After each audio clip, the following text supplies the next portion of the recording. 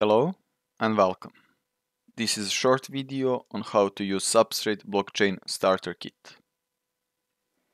First, let's cover what Substrate is.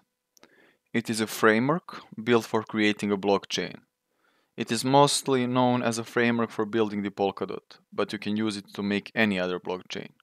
The Substrate provides you with core components of the blockchain that would otherwise take months to develop components such as database layer, networking layer, consensus engine, transaction queue, and so on.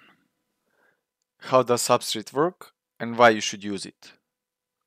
As we said, it provides you with core components that have already been developed.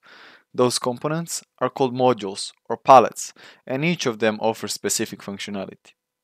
By choosing the right pallets, you can develop a blockchain crafted to your specific needs and save time that is especially important in these decentralized ecosystems where things are moving so fast. And now our main topic. What is Substrate Blockchain Starter Kit? It is a tool that brings the simplicity of creating a blockchain to another level. By drag and dropping pallets to a code base, you can have your customized blockchain developed and deployed in less than a minute. So let's see how it works. On the left side, you see pallets and templates.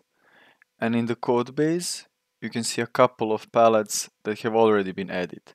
These pallets are all part of the node template that is a mandatory part of each blockchain. Let's now add some pallets. Here you see a list of all pallets.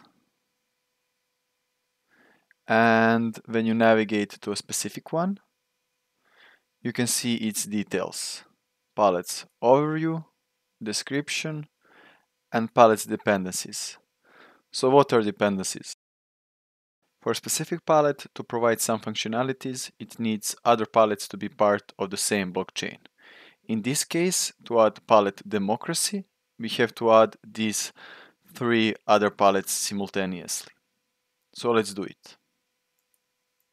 Now we can see that the pallet democracy is added to the code base. Also, as it is using pallet treasury, pallet balances, and pallet scheduler, they are also added to the code base.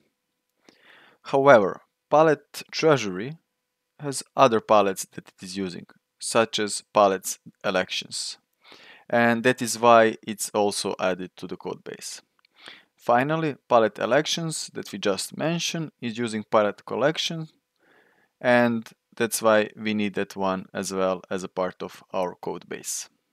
Other pallets on the left side are part of the node template that has already been here. Let's now add more pallets.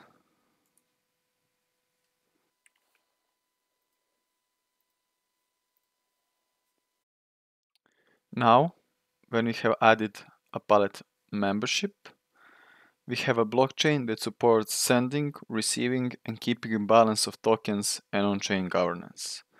To deploy this blockchain on the GitHub, we need to provide our information.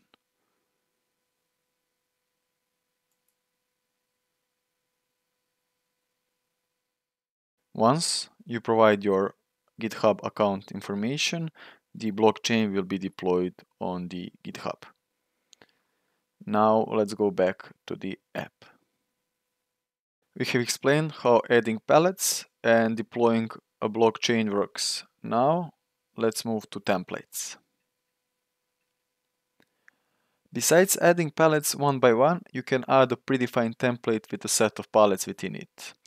For example, if you need a blockchain that will be able to keep a balance of tokens on the blockchain, support sending and receiving the tokens between the accounts, you can use predefined wallet template. So let's use it. Here you can see that the pallets that are part of the wallet template have been added to the code base.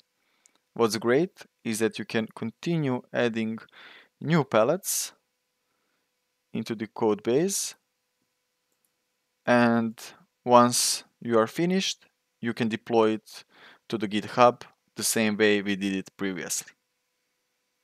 And that's all. We hope you find this tutorial useful. If you have any questions, be free to post them in the comments or email us at substrate at mvpworkshop.co. Thanks for watching and now go straight to the www.substratestarterkit.mvpworkshop.co and create your first blockchain.